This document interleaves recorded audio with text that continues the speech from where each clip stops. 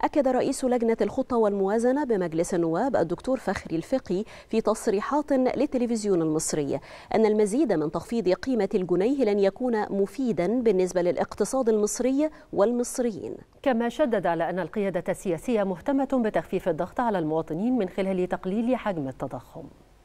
النهارده كنا في جلسة تخصصية في الحوار الوطني بنتكلم عن الغلاء آه، والتضخم. وكيفية مواجهة التضخم حتى نخفف الأعباء على المواطن البسيط والطبقة المتوسطة في مصر.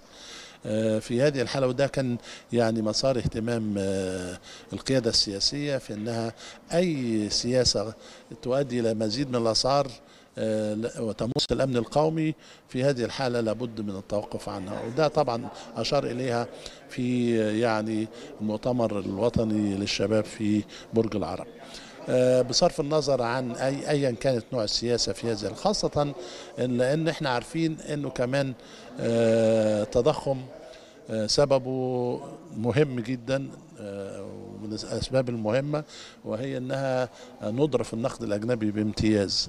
ولذلك يعني محاو... أي ط... إحنا خفضنا سعر صرف ال- الجنيه المصري مقابل الدولار ثلاثة مرات مرة في مارس ومرة في أغسطس ومرة في يناير